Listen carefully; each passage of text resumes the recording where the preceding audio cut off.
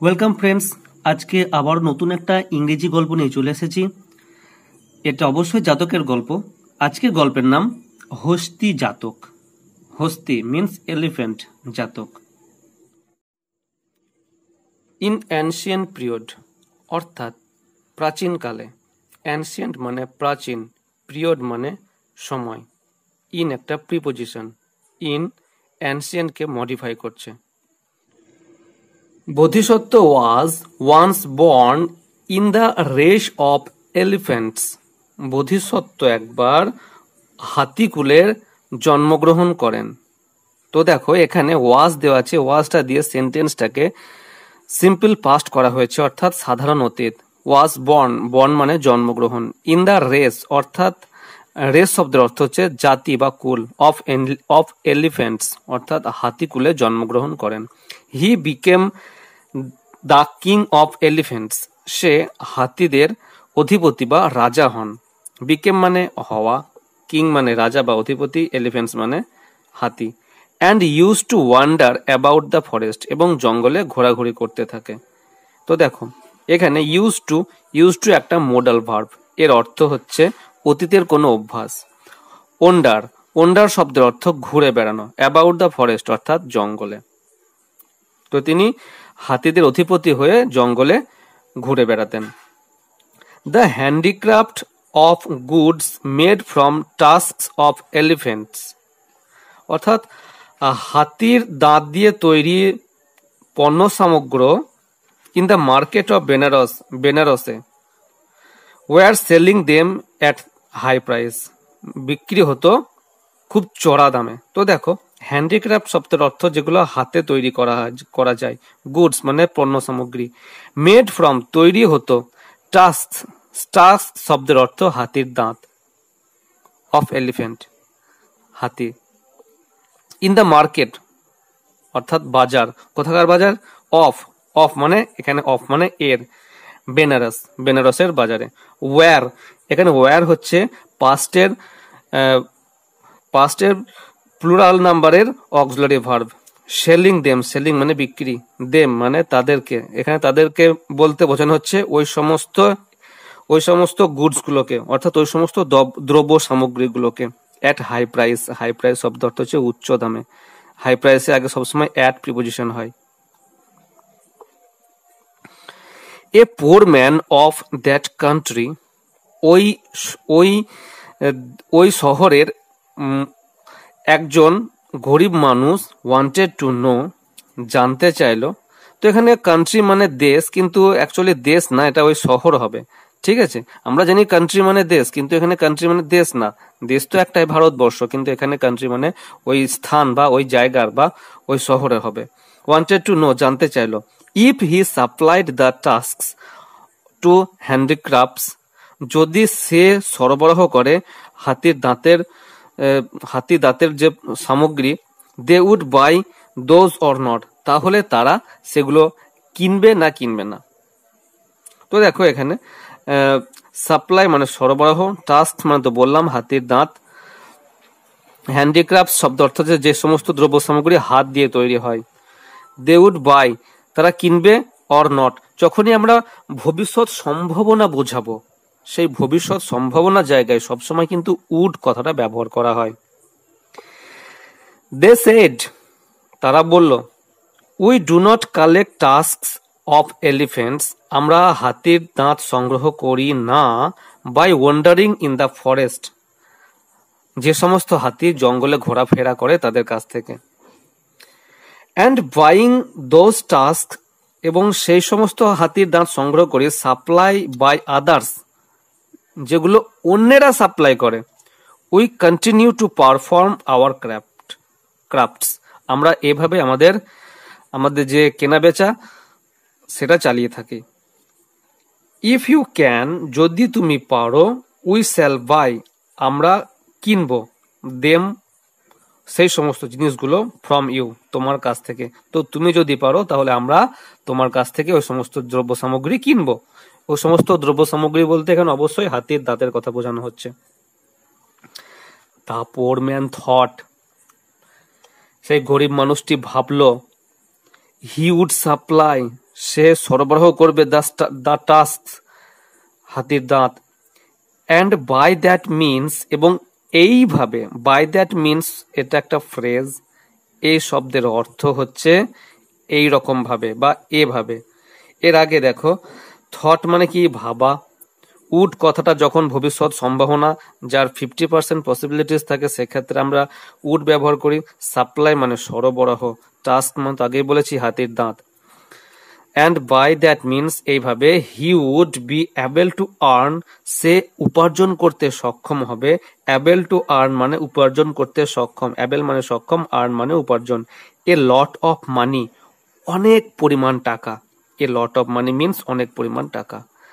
Thinking so এটা ভেবে he discovered a new idea সে একটা নতুন নতুন নতুন উপায় আবিষ্কার করল। ডিসকভার মানে আবিষ্কার করা নিউ আইডিয়া নতুন উপায় বা নতুন পরিকল্পনা। Before going out to collect tusk তো হাতির দাঁত সংগ্রহ করার আগে he had put on clothes dyeing in red chalks উজ্জ্বল লাল রঙের ঝকঝকে কাপড় সে পরত। দেখো পুট অন মানে পরিধান করা বা কোনো কিছু পরা। ক্লথস মানে জামা কাপড় ডেইং মানে ডেইং শব্দ অর্থ সরি ডেড ডেড শব্দের অর্থ রঙিন। ডেড শব্দের অর্থ রঙিন। ইন রেড চকস অর্থাৎ লাল, উজ্জ্বল রঙের কাপড় পরত। And turban of saffron colour এবং গেরুয়া রঙের পাগড়ি পরত। টারবান শব্দের অর্থ পাগড়ি, স্যাফরন শব্দের অর্থ গেরুয়া। And went to the forest এবং জঙ্গলে যেত। উইথ এ ওয়েপন সঙ্গে থাকতো একটা হাতিয়ার ইন হিজ হ্যান্ড তার হাতে। তো দেখো, এরকম যদি আমরা কেটে কেটে পড়ি, ইংরেজি আমাদের কোনো কঠিন মনে হবেই না। ভিডিও যদি ভালো লেগে থাকে, তোমাদের ইনফরমেটিভ বলে মনে হয়ে থাকে, অবশ্যই একটা লাইক করে দিও। আর এরকম ভিডিও নিয়মিত পাওয়ার জন্য অবশ্যই সাবস্ক্রাইব করে রাখো। তো আবার মূল পড়ায় ফিরে আসি।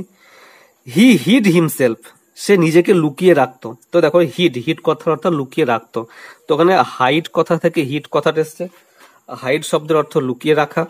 হাইড হিড হিডেন হিট কথাটা কিন্তু এখানে পাস্ট ফর্ম একটা ভার্বের তিনটে ফর্ম থাকে প্রেজেন্ট পাস্ট পাস্ট পার্টিসিপাল এটা কিন্তু হাইডের দু নাম্বার বা পাস্ট ফর্ম সে নিজেকে লুকিয়ে রাখতো। অ্যাট সাচ এ প্লেস এরকম একটা জায়গায় সাচ এ প্লেস মানে এরকম জায়গায় অফ দ্য ফরেস্ট জঙ্গলের। অফ দ্য ফরেস্ট মিনস জঙ্গল। Where the elephants would come and go যেখান দিয়ে হাতিরা যাওয়া আসা করে। When they herd of elephants passed from before his eyes যখন তার সামনে দিয়ে হাতিরা যেত, তো দেখো, হাতির দল যেত, তো এখানে দেখো হোয়েন মানে যখন এনি কোনো। হার্ড অফ এলিফেন্টস হার্ড শব্দের অর্থ হচ্ছে কি হাতির পাল বা হাতির দল। পাস্ট মানে অতিক্রান্ত করতো। ফ্রম বিফোর হিজ আইস তার সামনে দিয়ে। হিউড কিপ সে দেখতো। হিউড কিপ ওয়াচফুল আইস সতর্ক দৃষ্টিতে সেদিকে দেখত। অন দেম তাদেরকে। From the hide out and he would try to kill সে লুকিয়ে লুকিয়ে, ঠিক আছে? ওয়াচফুল মানে সতর্ক আইস মানে চোখ সতর্ক দৃষ্টিতে দেখতো অন দেম তাদের ওপর।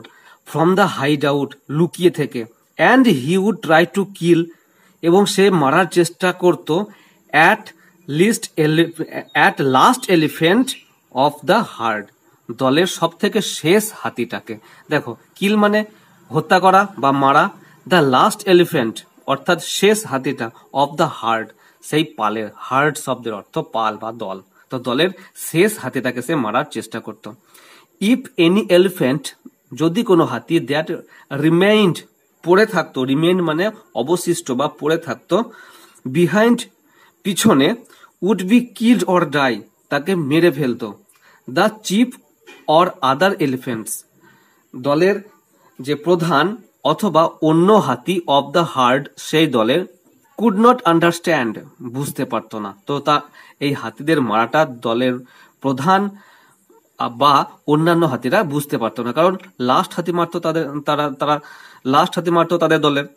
তো দেখো কিল্ড মানে মারা ড্রাই মানেও মারা, একই ব্যাপার। দ্য চিফ চিফ মানে দলের যে প্রধান অর আদার এলিফেন্টস বা অন্য হাতি। Of the herd of the herd মানে সেই দলের অফ মানে এর দ্য হার্ড মানে সেই দলের। কুড নট আন্ডারস্ট্যান্ড বুঝতে পারতো না। তো হাতে যে মারতো, সেটা অন্য হাতেরা বুঝতে পারতো না। দোজ এইভাবে just ignore the noise thus এইভাবে হি কিল্ড দ্য এলিফেন্টস এইভাবে হাতিদেরকে মারত। অ্যান্ড এক্সট্রাক্ট দেয়ার টিথ এবং তাদের দাঁত তুলে নিত। এক্সট্রাক্ট শব্দের অর্থ আরোহণ বা তুলে নেওয়া। দেয়ার টিথ তাদের দাঁত। হি উড ট্রেড আর সে সেগুলো নিয়ে ব্যবসা করত।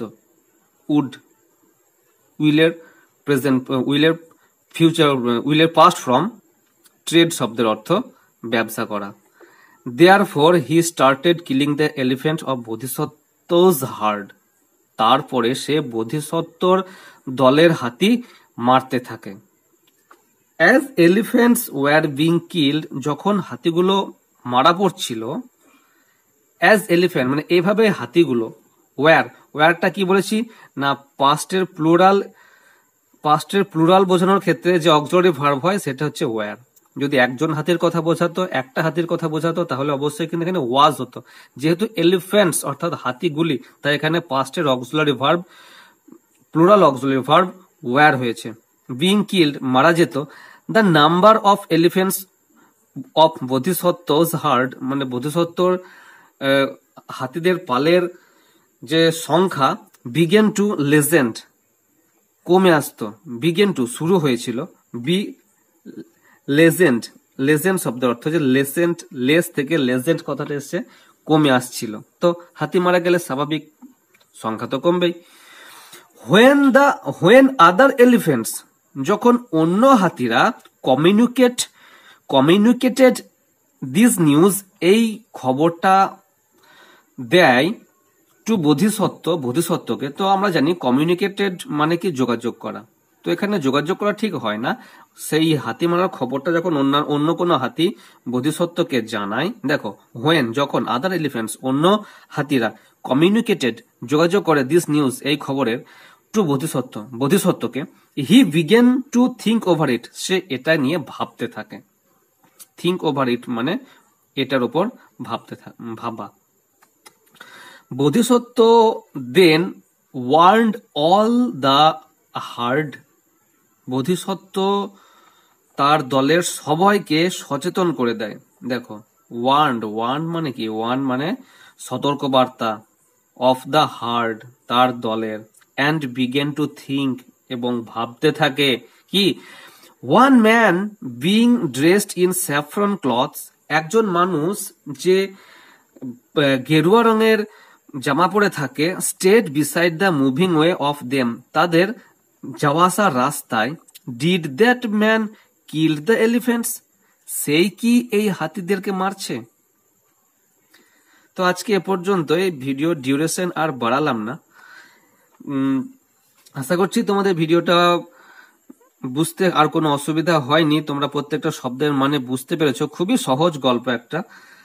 ভিডিওর তোমাদের কাছে যদি ইনফরমেটিভ বা এখান থেকে কোনো গ্রামার শিখতে পারো বা তোমাদের ভালো লেগে থাকে, অবশ্যই একটা লাইক করে দিও। আর এরকম ভিডিও নিয়মিত পাওয়ার জন্য অবশ্যই অবশ্যই আমার এই চ্যানেলটাকে সাবস্ক্রাইব করে রেখো। আজকে এ পর্যন্তই। দেখা হচ্ছে নেক্সট ভিডিওতে বাই